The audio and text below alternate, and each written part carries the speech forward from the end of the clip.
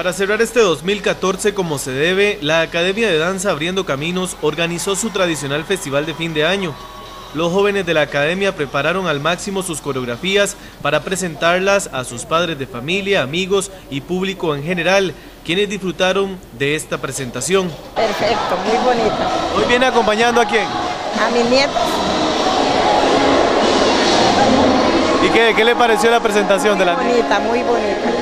No, no, excelente. La verdad que, bueno, eh, yo acabo de llegar, mejor dicho, pero lo que he visto está muy bien. ¿Viene acompañando algún eh, hijo, algún primo sobrino? ¿A quién viene acompañando? Mi hija, ¿Ya ella se presentó? sí, ya presentó.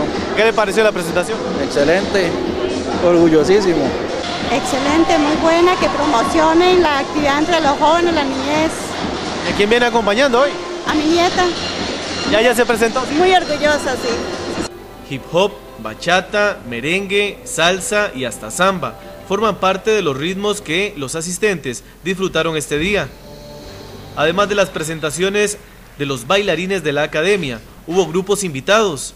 La idea es disfrutar de los logros alcanzados durante este 2014. Eh, en tiempo, más o menos un año. Un año, siete meses. ¿Qué representa la organización? ¿Qué, qué es lo que hay que coordinar? ¿Qué hay detrás de una actividad como esta? Es que son un montón de cosas. Hoy en la mañana todavía gente que me cancelaba por niños enfermos, eh, cosas de última hora, carreras, eh, dolores de cabeza, pero todo eso vale la pena. Este festival se llevó a cabo el viernes 28 de noviembre en el Polideportivo de Pérez Celedón a las 6 de la tarde.